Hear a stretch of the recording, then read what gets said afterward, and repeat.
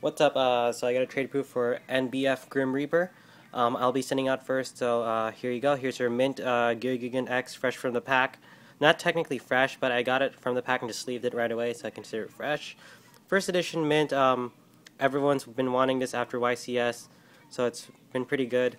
Uh, so I got your $3 as well.